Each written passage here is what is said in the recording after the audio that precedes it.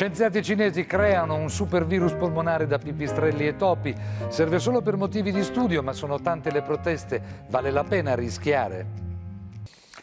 È un esperimento, certo, ma preoccupa, preoccupa tanti scienziati e un gruppo di ricercatori cinesi innesta una proteina presa dai pipistrelli sul virus della SARS, la, la polmonite acuta, ricavato da topi.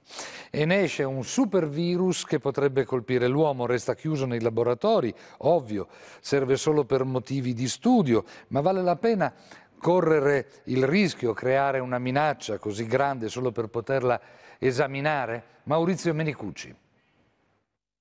Vecchio quanto la scienza il dibattito sui rischi della ricerca. In fondo è il mito di Icaro che cade per avere sfiorato il sole con le ali di cera progettate dal padre Dedalo.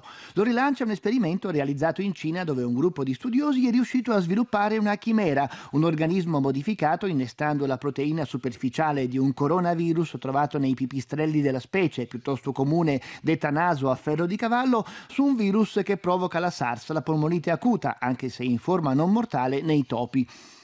Si sospettava che la proteina potesse rendere l'ibrido adatto a colpire l'uomo e l'esperimento lo ha confermato. È proprio questa molecola detta SHCO14 che permette al coronavirus di attaccarsi alle nostre cellule respiratorie scatenando la sindrome.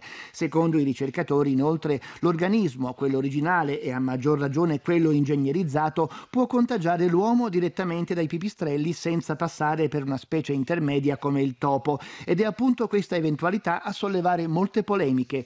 Proprio un anno fa il governo USA aveva sospeso i finanziamenti alle ricerche che puntavano a rendere i virus più contagiosi, ma la moratoria non aveva fermato il lavoro dei cinesi sulla SARS, che era già in fase avanzata e si riteneva non così pericoloso. Secondo una parte del mondo scientifico, infatti, non lo è. Le probabilità che il virus passi alla nostra specie sarebbero irrilevanti rispetto ai benefici, un ragionamento che molti altri esperti bocciano. Primo perché il rapporto tra rischio e beneficio è difficile difficile da valutare e poi perché, specie di questi tempi, è più prudente non mettere in circolazione organismi che possano sfuggire o essere sottratti al controllo dei laboratori.